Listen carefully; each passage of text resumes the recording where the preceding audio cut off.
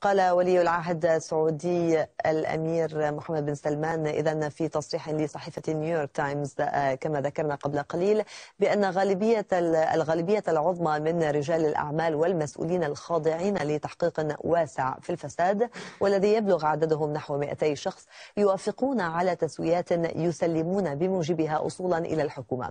ونقلت الصحيفة عن بن سلمان قوله إنه بمجرد كشف ما لديه من ملفات وبمجرد أن أن ير يعني يطلع على هذه الوثائق. والملفات يوافق نحو 95% على التسوية وهو ما يعني التوقيع على التنازل عن مبالغ نقدية أو أسهم في شركات الخزانة العامة.